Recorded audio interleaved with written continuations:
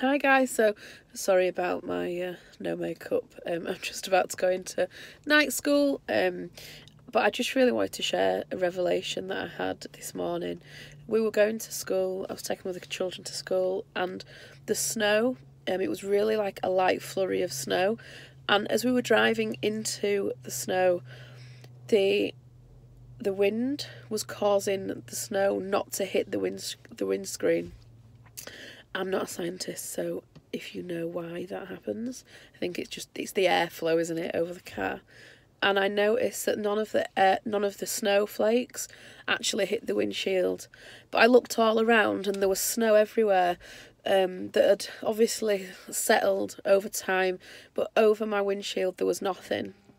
And then when we came to a standstill, the the snow settled on the on the windshield on the windscreen, and um, I really felt God say, you know, so that's what my people are like. They're sometimes so busy going around their ministry stuff, their life, um, everything, you know, but they're so busy moving that it's only actually when I when they stand still that the goodness of who I am and who I am in their world hits hits their the windshield of their life and hits who they are.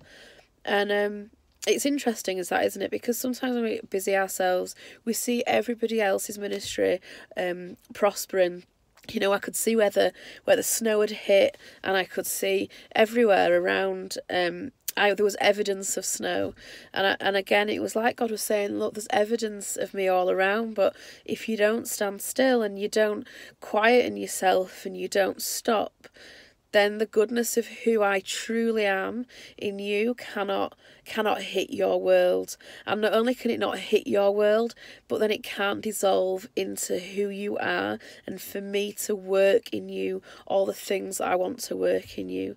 Um so I just wanted to share that really. It was just really poignant this morning. Um and it was just a beautiful a beautiful thing and i just really god really impressed it upon my heart and I would usually blog about it, but I was like, I know this needs to get out soon. So just strengthen yourself, people. You know, those who want to um, want God and want a presence of who He is and the richness of who He is in your world right now, then can I just urge you just to still yourself?